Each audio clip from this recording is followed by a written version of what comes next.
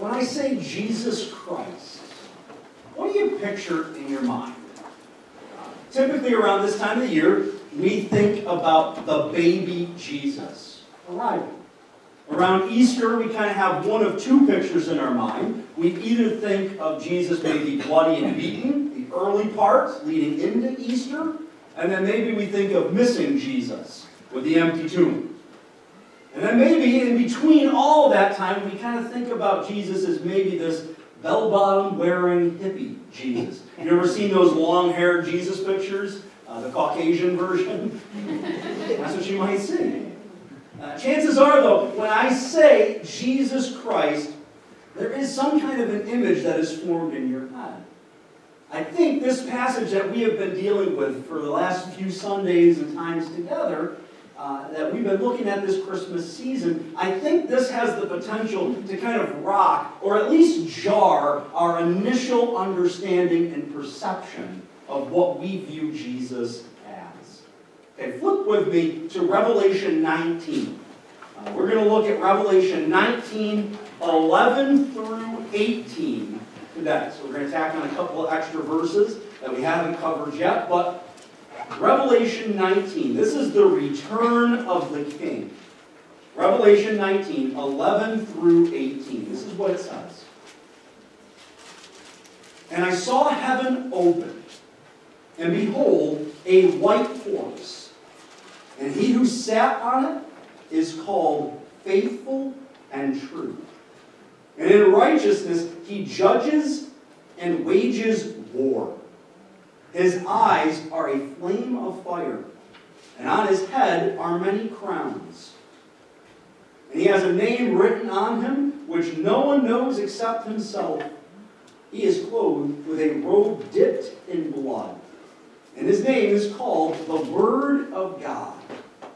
And the armies which are in heaven, clothed in fine linen, white and clean, were following him on white horses.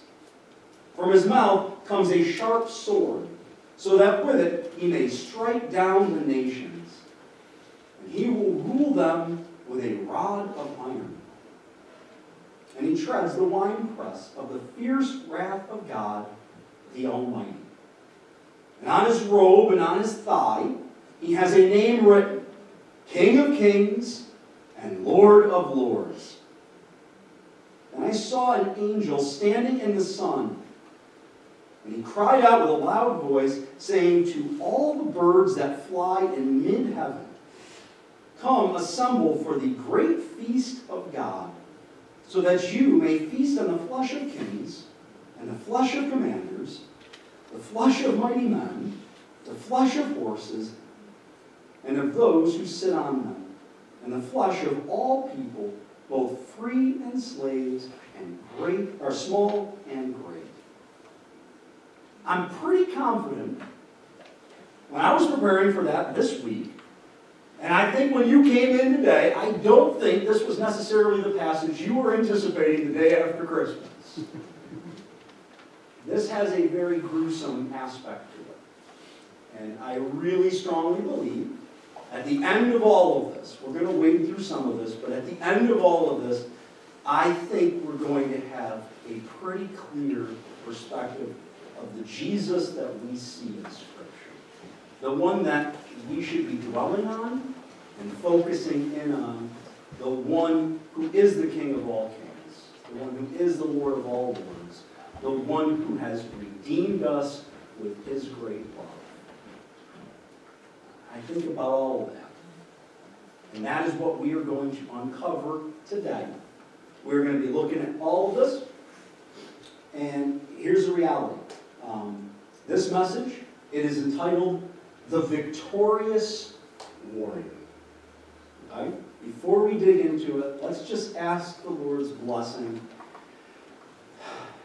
that He guide and direct us. Lord, I thank you for your word.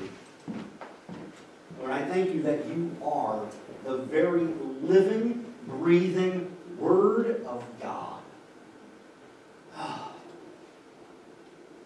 Lord, you have revealed so much. And Lord, I, I have to be honest. There's a lot of reading that you can do in the book of Revelation and reading of commentaries, and there's very few people that absolutely agree on every last piece. There's a lot of opinions. Because, Lord, a lot of this doesn't fully make sense to our mind. But, Lord, I pray as we look at the things that we can kind of get a glimpse of, Lord, that you have revealed, God, I pray that with the Holy Spirit's guidance today, Lord, that you would with precision address and speak to us. Lord, that the Word of God that is living and breathing and powerful and sharper than any two-edged sword, Lord, that that would reign supreme today, Lord, and that you would use this time together for your glory and honor. We exalt you, and we thank you, Lord, that uh, we can dig into your word, and we look forward to what you have in store. We pray this in your name. Amen. Revelation 19, 11 through 12. And I saw heaven open, and behold, a white horse. And he who sat on it is called faithful and true. And in righteousness he judges and wages war. His eyes are a flame of fire, and on his head are many crowns. And he has a name written on him which no one knows except himself. When Jesus returns the second time, he's coming back to wage war. This is the picture that you see. And if you go back into Revelation 16, it kind of unfolds this idea of what we would call the Battle of Armageddon. Okay? And, and this whole picture of what you see in, in Revelation 16 is where the Antichrist, he is leading this uh, upward, rebellious uh, war. And he's heading towards Jerusalem. And here's the thing. He is ready for a fight. He is ready to just clash with Jerusalem. But he never makes it there. As you read Revelation 16, which is also equally gruesome, but as you get there, Jesus interrupts and he intercedes. And with three words, what he says is, It is done. That's that when I read that, I instantly went to Jesus on the cross. It is finished. Okay? This is the completion of that. It is done. Jesus in an, an incredible showing of devastating power, he crushes this puny and pathetic enemy. And, and it's, and it's, this, and it's device, uh, it's absolutely, uh, there is no comparison. And I think even when we even reference the Battle of Armageddon, okay, I want us to be very, very careful over that. There is no real battle. Okay, there is no real fight. It is Jesus finishing and he is doing it in an awe-striking way. Uh, this is ending this once for all rebellious sin. Jesus, you think about this. He has watched his bride, and he has watched them persecuted. He has watched them tormented. He has watched the, the awful things unfold in this world. And that long suffering Savior that we have he has waited long enough. And now what you see is this fearsome wrath of God. It is going to be unleashed like we have never before even began to comprehend. It's unbelievable. Jonathan Edwards, uh, this year when I was in my studies, uh, it was part of my requirements, I had to listen to one of his most famous sermons. Jonathan Edwards was uh, a pastor during the uh, Great uh, Awakening. And this is what he ended up saying in, in the gist of his famous sermon, Sinners in the Hands of an Angry God. In this whole sermon, Jonathan Edwards, he explores the very serious looming wrath of God. Being a wretched sinner before a holy God it is an absolutely petrifying place. If you really stop and process this, never, ever, ever, ever, ever take God's grace lightly. Okay? It is the only reason why we are not in that standing of under God's looming wrath. It is the grace of God. That's what spares us. That, that's what helps us as we read this whole passage. We are the ones, I believe strongly, we are the ones that are clothed in white and that clean linen that is behind him. And that's our position, but we are not in front of the horse by the grace of God. My words, as I've tried to kind of process and, and, and I've tried to kind of put some words together to this, my words will never adequately vocalize how utterly scary it will be when God finally says, enough. That's a very scary thought process. Finally, judgment and perfect justice is going to be administered. But it comes at a cost. And we see this in Revelation 19, 13 to 14. He is clothed with a robe dipped in blood, and his name is called the Word of God. And the armies which are in heaven, clothed in fine linen, white and clean, were following him on white horses.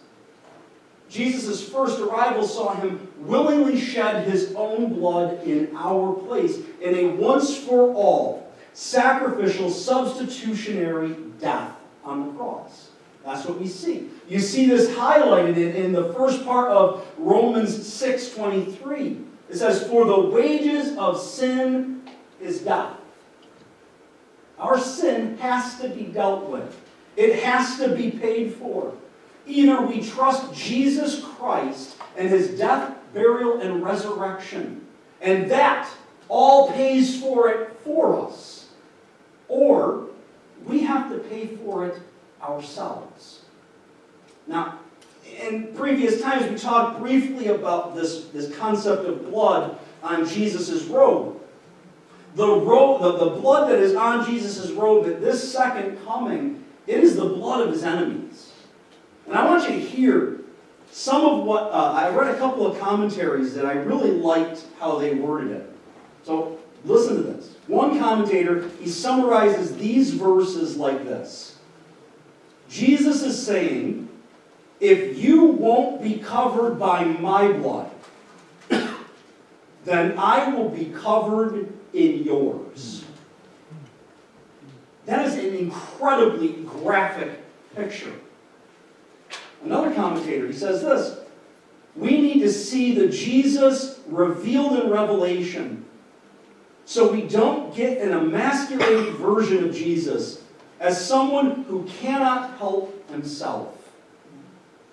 Jesus needs absolutely no help. Jesus will finish what our sin started. We simply follow him as spectators in amazement and awe at what he can do by simply his spoken word. I want you to listen to this outpouring of God's wrath on sin. Okay? Verses 15 and 16.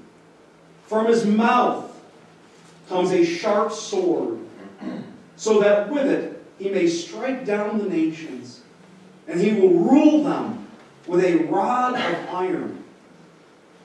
And he treads the winepress of the fierce wrath of God the Almighty. And on his robe and on his thigh he has a name written King of Kings and Lord of Lords. The Word of God speaks. Okay? And by His Word, the nations are struck down. Catastrophic, unprecedented natural disasters, they will swallow up. They will destroy this enemy. And Jesus, it says, He is going to rule with a rod of iron. Here's a little fascinating tidbit when I was kind of researching this. The, the word rule in the Greek, it literally means to act as a shepherd. To act as a shepherd. Think about this, okay? The shepherd had a variety of tools in his tool bag. You're, you're probably familiar with the, the crook or the, the shepherd's hook that he had, but he would also have with him this rod. And the rod, it was really not used. It was not, the purpose of the rod was not for the sheep. The purpose of the rod was used to fight off wild animals.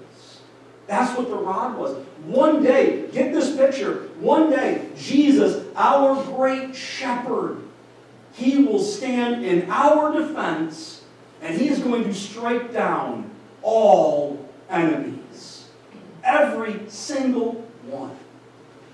Uh, there has been uh, a lot of commentators that parallel this uh, to Isaiah 63, the, the last part of this whole idea with the wine press and all of that. They parallel this to Isaiah 63, 3 through 6. And this is what that says.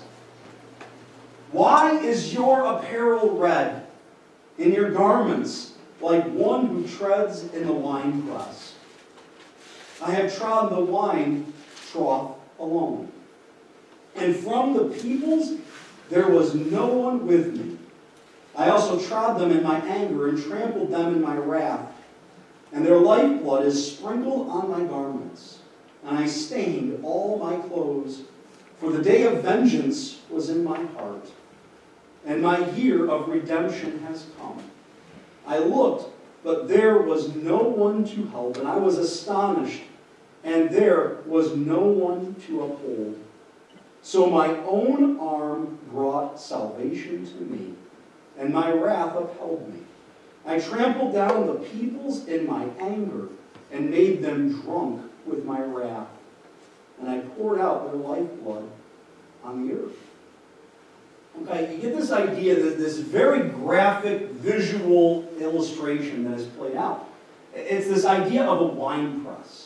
Okay? And in the Old Testament culture, to make wine, how they would do this is, and maybe you've seen the pictures of this, but you have this huge kind of like barrel, this huge vat, and they would put all these different grapes in there. And at the bottom of the, the barrel, you have this pipe. And so what you do is you get on in, and you, as a guy, you wear this robe, and you'd hike it all on up, and then you would just kind of stomp. And you would get all those grapes and you would be burning it, and you feel like Olivia Newton-John, and you're burning it, and all the grape juice is kind of flowing on out. But when you get out, here's what happens. When that robe comes down, that hem is saturated in a reddish purple stain because of the grapes. Do you see the visual that is being painted right here? It is quite vivid. Jesus' second coming, it is going to get messy because justice must be served. Amen. The first verse in the Battle Hymn of the Republic, very familiar perhaps, it is actually based on this passage of Scripture. It goes like this. Mine eyes have seen the glory of the coming of the Lord. He is trampling out the vintage where the grapes of wrath are stored. He hath loosed the fateful lightning of his terrible swift sword. His truth is marching on. Glory,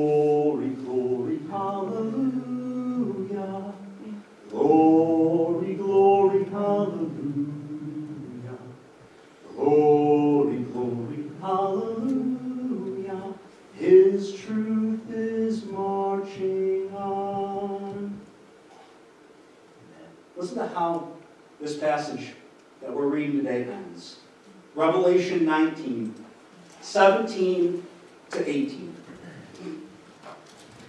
Then I saw an angel standing in the sun, and he cried out with a loud voice saying to all the birds that fly in mid heaven, Come assemble for the great feast of God, so that you may eat the flesh of kings, and the flesh of commanders, the flesh of mighty men, the flesh of horses, and of those who sit on them, and the flesh of all people, both free and slaves, and small and great there is massive carnage that is left behind the King of Kings and Lord of Lords. And in this picture, it is just a devastating amount of stacked, piled up carnage. kings and commanders, mighty men and horses, both great and small. All that is left behind are these dead corpses. I think about this. Okay? On holidays like Thanksgiving and Christmas, we normally kind of sit around and we eat birds. Okay? That's not what we see here. It's the opposite that's taking place. An angel calls for the birds to come and feast on these corpses' flesh. It is another incredibly nasty visual. Jesus, he is returning. And he is returning as a victorious warrior. I want you to hear this was one of the most profound things that I have read as I was studying for this. One commentator wrote this Our hope is not that we do not have an enemy, for our enemy is great. Our hope is that we have a Savior. Our hope is not that Satan has no power, but rather Jesus is more powerful. Our hope is not that Satan isn't against us, but that God is for us. Honestly, this is a little bit of a scary Jesus. This victorious warrior, if you're on the opposite side of that horse, this is a petrifying Jesus. Jesus coming as this victorious warrior, he is necessary to come like that. It is actually, it is absolutely, actually essential for us to understand. Unless God comes back with the rod of iron, okay, unless this whole event and all of this happens, we don't get an eternity with glorified Jesus. It took baby Jesus to get bloody and beaten Jesus for us to rejoice over resurrected Jesus, which paved the way for victorious warrior Jesus, so that for all of eternity we can know glorified Jesus. We can't shy away from victorious warrior Jesus because he is scary or because he makes us a little uncomfortable.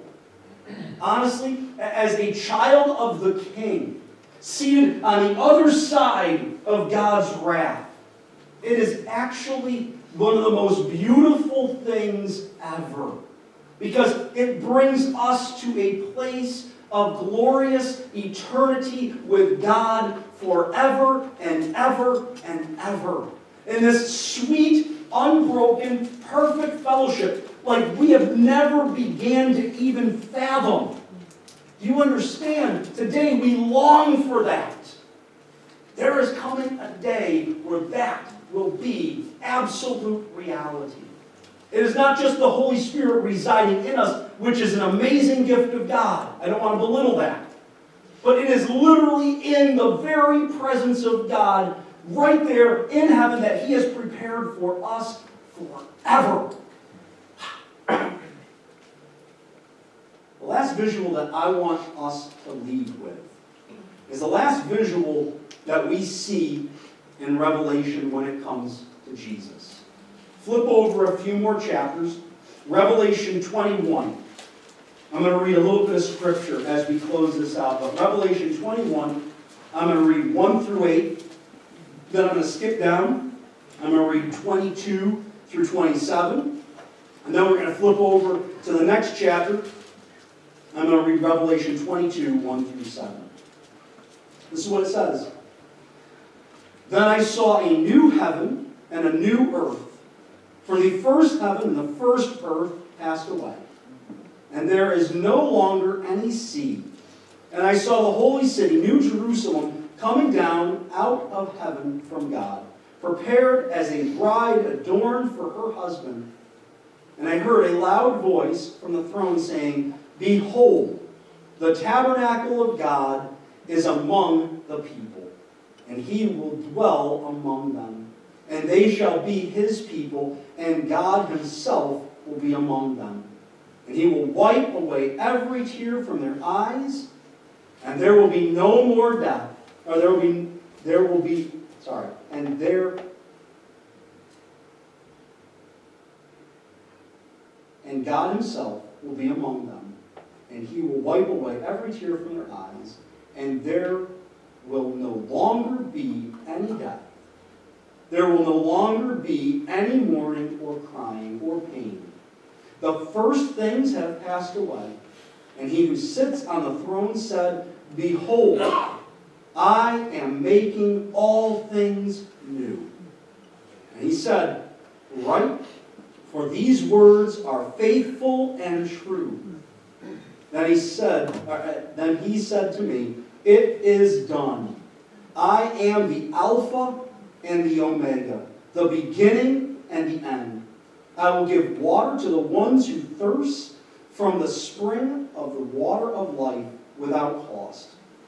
The one who overcomes will inherit these things, and I will be his God, and he will be my son.